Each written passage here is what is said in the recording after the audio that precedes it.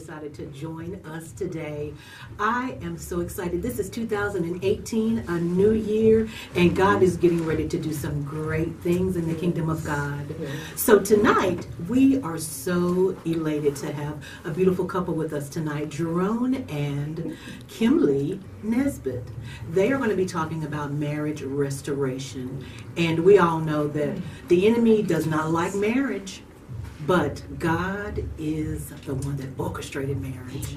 So He is the one that can restore and He can pull everything back together when it comes out of alignment. So tonight they're going to share a little bit about their marriage and how God has restored them.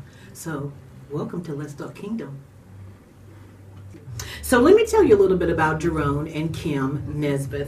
Jerome was born in Mol, Murrells. Murrells Inlet, South Carolina, the second oldest of six, and he's a former North Carolina State Correction Officer. Yes. My God. Kim is a native of Charlotte. There's not too many of us left, Nope. Kim. And she's the youngest of three. Jerome and Kim have been married for eight years and have a blended family of five children and four grandchildren. God, family, and friends reign supreme in their lives, just in that order.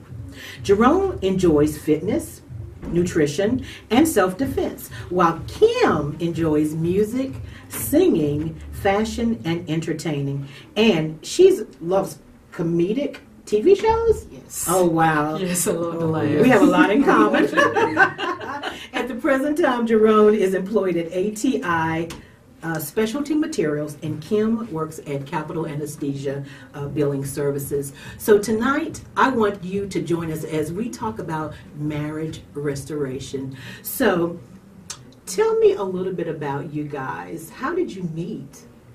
Wow. We actually met Wow. over 20 something years ago when we Yes. both worked for Carolina Bedrooms.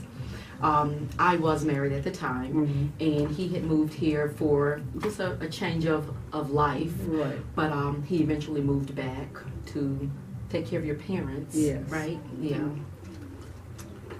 And we hadn't seen each other in over 18 years. Wow. Um, at that time, I was going through a divorce. But um, I started going to the gym where he was a personal trainer. Okay. Um, funny story. I'm walking through, I'm being shown the gym, and I hear someone scream out my name, Kim Byram. And I'm like, I know that voice. It can only be. And sure enough, it was him. And he he actually started training me. Um, like I said, I was still married at the time. Um, after my husband and I separated, um, he kind of started doing a little pursuing there. but um, I was I was kind of leery, kind of leery. But we eventually did start dating. We dated for two years, and we got married in 2009. Wow. Well, you want to put a little bit into that because I know sometimes men have a different. Yeah, he's got a little bit perspective. different. Absolutely. Well, the only difference is that we shared a lot of times together before that, even at work, um, which she didn't know it at the time. I was very, very interested in her, even though she was married.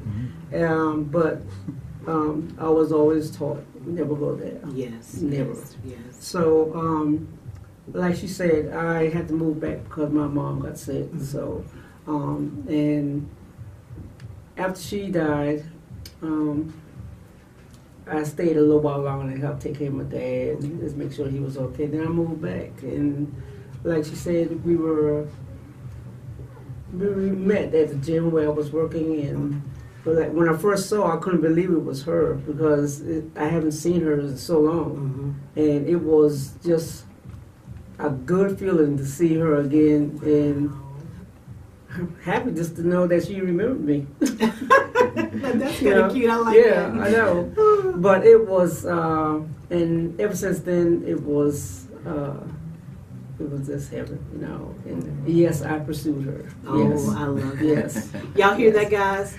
Men are to pursue the women. Women, you're not to pursue the men. Exactly. I love that. Exactly. So, if you were going to give a name to what God is doing with uh, both of you, uh, your ministry, what would you call it? I was actually talking with your assistant, and we were coming up with things, and she said, "What do you think about reclaim?" Mhm. And I said, "That makes sense." And the reason I say that is because, to me, it actually began in 2013, Mhm. where I had to begin claiming my marriage over, Mhm. because that's when I felt like I lost him. Mhm. And it was February 2013, and remember it like it was yesterday, because it was on my birthday. And he was starting to, to really go through some things and i could see a difference. He looked the same to other people. Mhm. but that morning before he left he said to me i had been up all night. It was the first year without my mom my first birthday because she passed in 2012 Mhm. and he asked me what was wrong and we kind of talked about it. And what he said to me that morning i couldn't conceive. He said i don't know why i don't love you the way you love me. Wow. and I was like, wow. And and that just really, really crushed me. I actually had a day planned with my daughter Mhm. and I texted her. She was at the house and I told her, I said, when you wake up, just leave.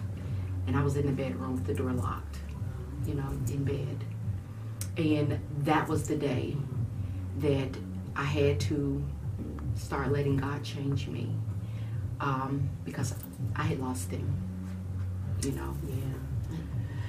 Jerome, what do you think um, God was doing with you during this time where you felt like you no longer could connect with your wife? Because sometimes, or wa- was there something that brought that disconnect? Because sometimes there are things that bring that disconnect. Right. But was there something that you were going through at the time that brought that disconnect from Kim?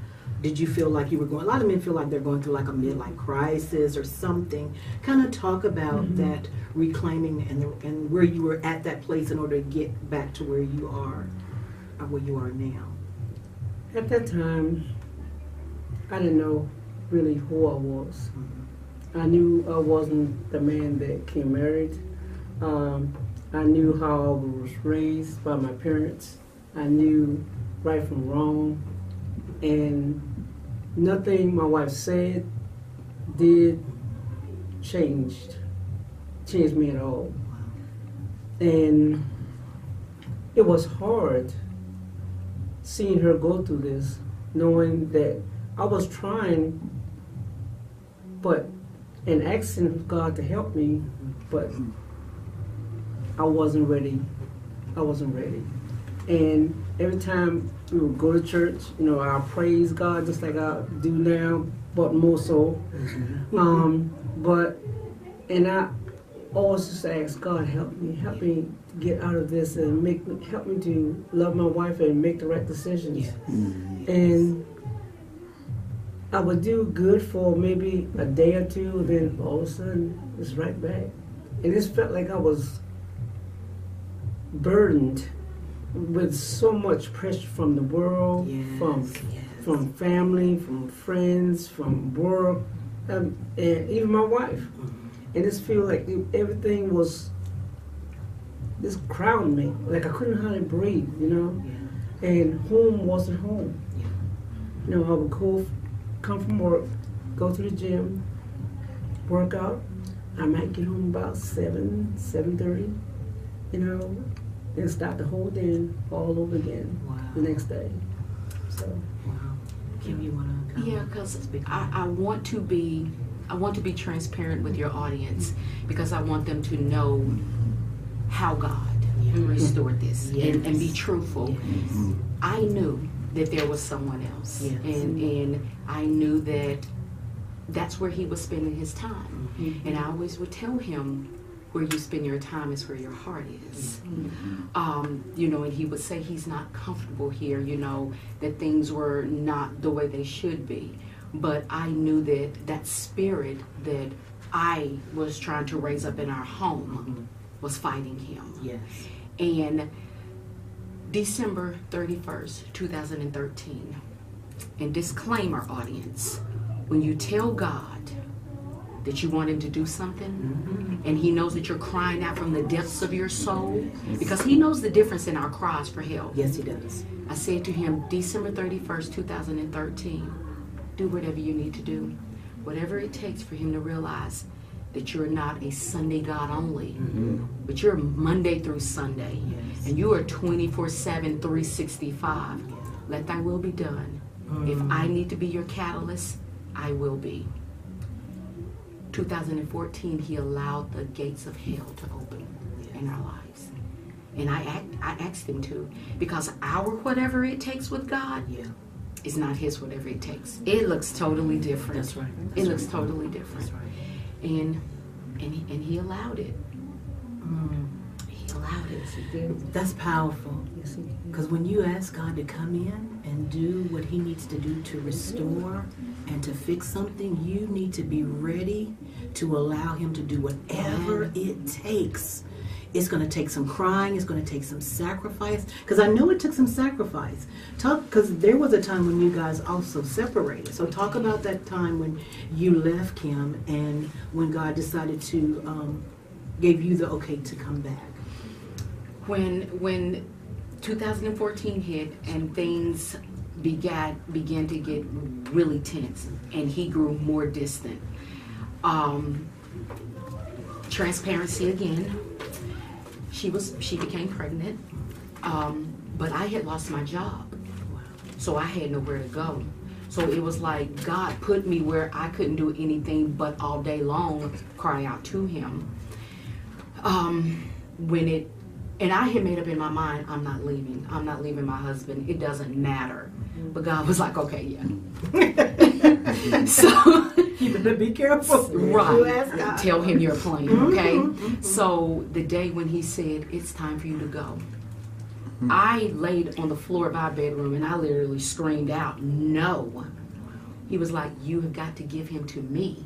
Yes. You've done your part. It's my turn. Leave him with me. Mm. So I was like, I have no job. I have nowhere to go. I could have went to my brother, Yeah. but I didn't want to live on my brother. I didn't have a job. So I eventually was blessed with a temp position, found a place to live. And September 26, 2014, that's when I was permitted to leave. Wow. We, um, he didn't even know. Now he knew. I want him to talk to you about this Okay. because he knew I was packing Mhm. because we had an empty room Mhm. where everything was. Yes, and every day I would walk by that room and just look inside, and each day there would be more and more things accumulated in the room. And I knew that she was serious about moving at that point. Mhm. But nothing inside of me could tell her, no, stay. Mm. Nothing. Nothing. As much as I wanted to, I could not utter those words.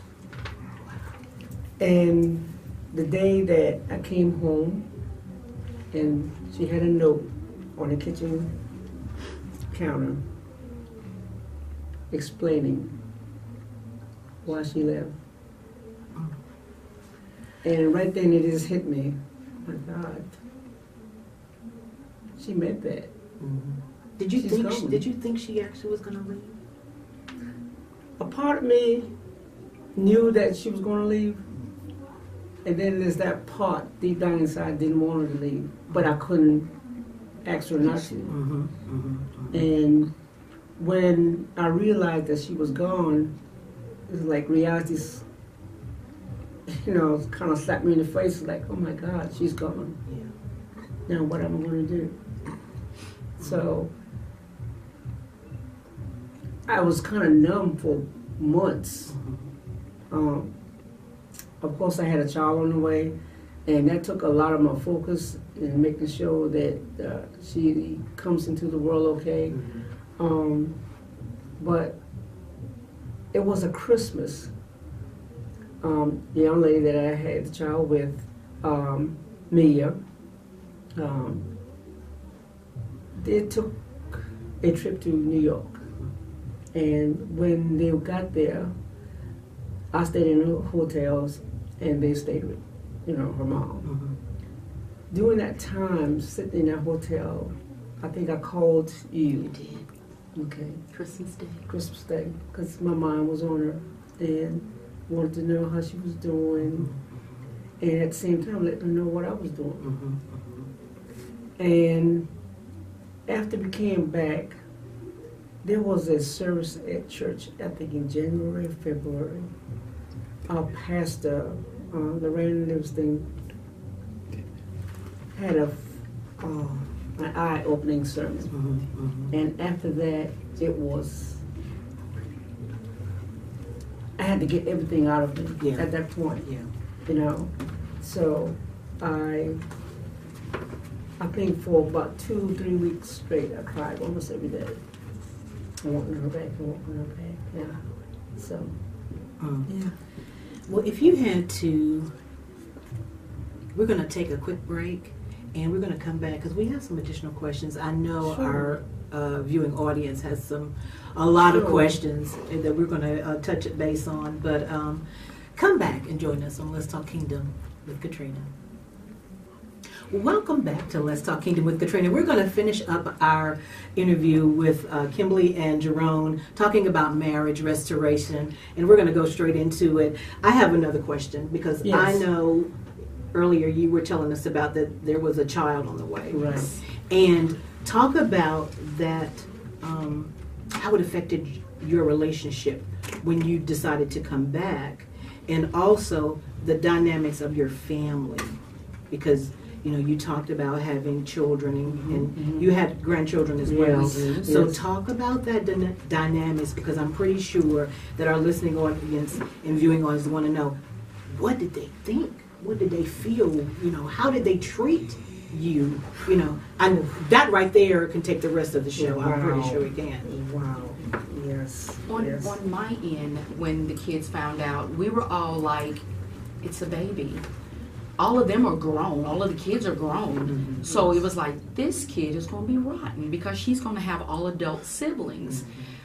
Um, those were my words to him when we when I found out she was pregnant. We can get through this. It's a baby. But um, he didn't have the same. He didn't see it the same. Mm-hmm, mm-hmm. Right. You know. how did you see it jerome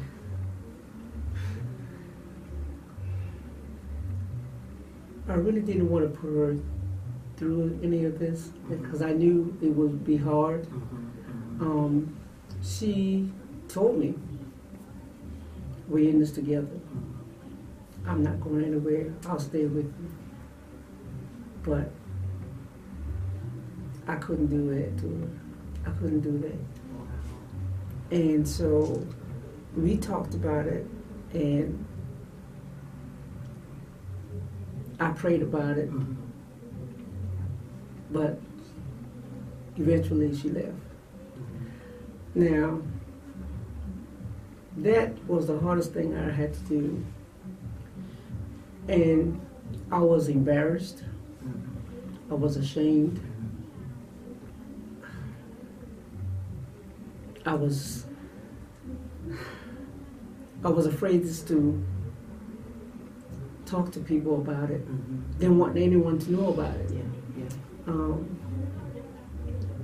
when she left, my brother, we kept in contact pretty often. Um, but God touched me. Mhm.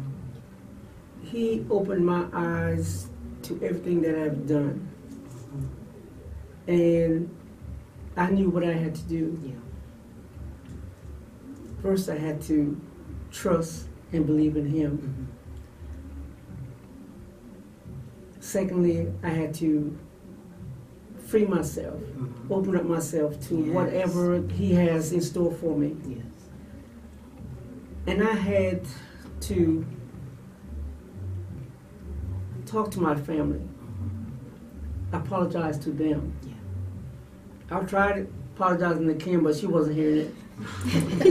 she wasn't hearing Not none for a of that. while, no. Yeah, yeah, yeah. So I talked to all my family, told them how I felt. Um, um, it wasn't asking for any sympathy. Yeah. Just want them to know Yeah. that I'm sorry that I hurt them all Mhm. um, because of my actions. yes yes So then I again tried to pursue Kim at all costs. Any dinner, just a conversation, but She wasn't having none of that. So again, um, I went to a satellite church that we have, and I met um, some different people who didn't even know us, Mhm, and really got close to them. mhm. So I started, you know, seeing her on the screen. Like, wow, there she is. Oh Because she was doing praise and worship. Right, she's she's right, praise and worship yes. from the choir. Okay. And I'm thinking to myself, oh my God, what have I done? Oh, she's so beautiful. I mean, that's all I could think about. It was like know, God just reopened your, your eyes, eyes, to who right, she really, right. really was. because I was, I was blind. I didn't hear nothing. No one had to say. I was a mess. I was really a mess. I mean, and I, I told my wife this. I mean, I was acting stupid.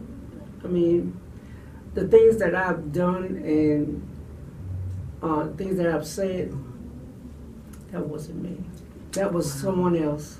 It was not me. Isn't it wonderful how God can show you yourself Yes. and how Yes. once you release all of that, He can come back and even restore you Right. because He had to restore Right. you and put mm-hmm. you back in right, Right. perspective Exactly. before He could release you back Right. to her Exactly. and bring that back together again. Right. And that's that's exactly Trina how it happened because after two and a half years, we had actually started the divorce process. Yes, we did. We had the Yes, separation did. papers.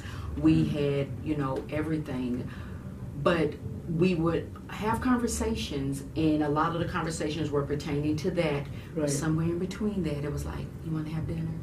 We no, because he had allowed me to step out Right. Mhm. and see it from the outside. Mhm. See, as long as I was there on the inside, all I could see was being there supporting my husband. Yes. Once he allowed me to step out, I was like, do I even want to handle this? Mm-hmm. Do I even want to deal with this? So, no. And I, I shut him down for like a year. Don't call me, leave me alone. I've got to heal. Yes, I've got to heal. Right. That was hard, but he did. But his sermon was January of 2015. Yes. My sermon was January 1st, 2016. Mhm. Everything, God had a timeline Yes. 14, 15, 16. Yes, he did. And that day, sitting in the choir loft, listening to that message, he was sitting in the balcony. God said, I need you to open your eyes and look at what you asked me to do. Mm-hmm. You asked me for a miracle. Open your eyes and look at it. And I looked at, there, at him and I lost it. I was a mess. I was a mess. Because even though hearing him, Mhm. because the one thing about me and anybody that knows me, I require consistency. Yes. I'm structured. Yes. Yes, yes. And even though I'm listening to him and I'm seeing all of this, I'm like, okay, what are you trying? What you trying to do? Okay, this this a line. Mhm. But he was consistent in his pursuit, Mhm. and I heard the difference, and I heard the references to God, because I used to always tell him, God is gonna get time tired, and when enough is enough. But once I did that, and that Sunday, I went down to the altar, and he came down with to me, and I just locked him, and I just lost it. But that's when I saw him Mhm. for who God was turning him into, the miracle. And people look for miracles to be in blinded eyes opening and lame walking. That's all fine and good, and God can still do those things. Yes. Mhm. Yes. But this, yes. It's a miracle. That's Yes. our miracle. Yes. Because people that knew us, they were like, oh, that's done. Wow. That's done. Now, there are singles, couples listening, Mhm. viewing. What would you say to them about restoration? If you believe that that person that you're with is who God intended for you to be with, first of all, you've got to let forgiveness become life. Yes. It's got to be life. Yes. Because that was the only way I was going to be able to get back. I knew I had to forgive him. I had to forgive her. Because there were days that forgiveness was not pretty. That was totally not a thing. I would have to lay in the bed and ask God to give me what He required Yes. so that my flesh wouldn't take over. Yes. Um, but if if you're gonna do it, love holds no count of wrong. Yes. So if you're gonna do it, hmm. you've got to let it go. Wow.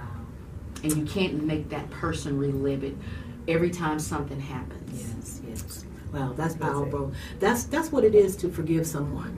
And to know that forgiveness is not just for you, but it's for the other person as well. In order for the blessings to continue Yes. to to to be bestowed upon you and that person that you've released. Mhm. Tell our listening audience and our viewing audience how they can get in touch with you to come and share your story. We just have a few minutes. To, I can you can reach us by email at klnesbit51 at gmail.com. My cell is 704 488 8780. Jerome is 704 254 8370. Jerome, Yes. Kimberly, thank you so much for joining us tonight. I know somebody has been healed, restored because of your testimony. We thank you for listening to Let's Talk Kingdom with Catrina and join us again as we have those that are coming on and telling you about the great things that God is doing in the kingdom. Amen. Amen. Amen. Amen. Good night. Good night. Awesome.